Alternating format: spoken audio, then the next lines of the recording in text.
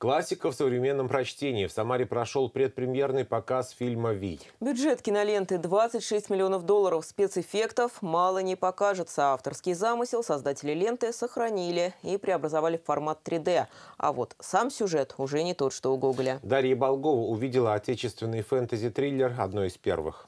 В мультиплексе «Киномечта» прошел предпремьерный показ фильма «Ви». Презентация в духе киноновинки. Зрителям устрашающий коктейль и конкурс изобразить главного злодея киноленты – Вия.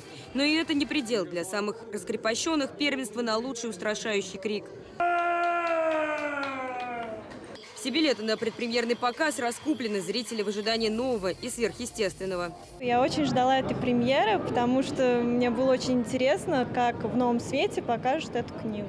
Сама кинолента от произведения русского классика отличается. В далеких землях живет народ, не похожий ни на кого. Здесь среди людей обитает нечисть, которая то и дело ждет удобного момента, чтобы захватить живую душу.